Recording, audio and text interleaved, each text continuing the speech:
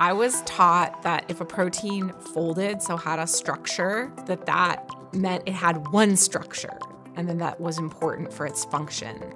I study proteins that actually can collapse in different ways depending on what's going on in their environment.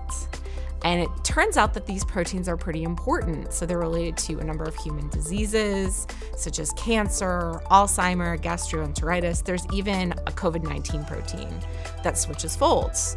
And yet, we don't really know how often this happens. We don't have a lot of examples about it. So, even though it seems to be a pretty important thing for how living organisms function, the proteins are difficult to characterize, and there aren't very good computational methods for discovering them. And so, we're kind of just groping around in the dark, trying to find examples with the limited tools we have.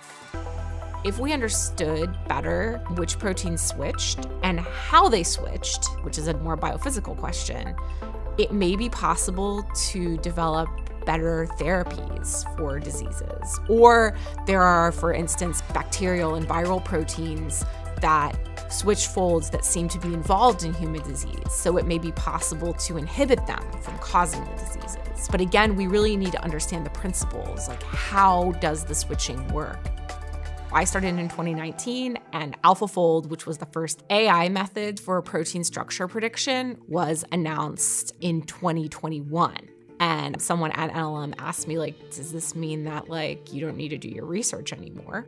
But AI works because it's trained on large amounts of data. But fold switching is a very data poor area. So it's hard to train an algorithm on just a handful of examples and expect it to really work. So my hope is that if we can discover many more examples, that could potentially improve the AI. But I also think that as far as proteins are concerned, that there may be some fundamental principles that we still don't really understand. And if we could understand those better and like couple a more physical understanding with the AI, that could improve the tools and make them a bit more generalizable. I think this research could be a game changer because if proteins really are changing their structures and functions in the cell, and alternative splicing is producing new structures with different functions, then it could fundamentally change the way that we understand how proteins work and how life works.